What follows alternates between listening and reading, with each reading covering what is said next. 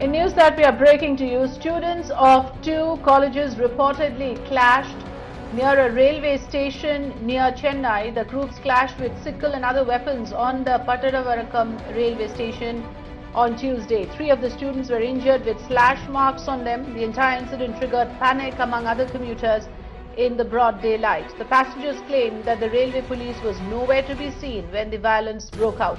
The students involved in the incident were videographed in the brazen act.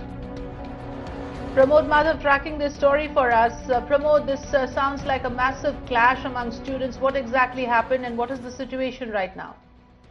Well, it's not just a massive clash. It was a pretty scary one because as you could see on this video, uh, you could see the person carrying like sword kind of like metal weapons and they were attacking each other on a train where we also had passengers on it.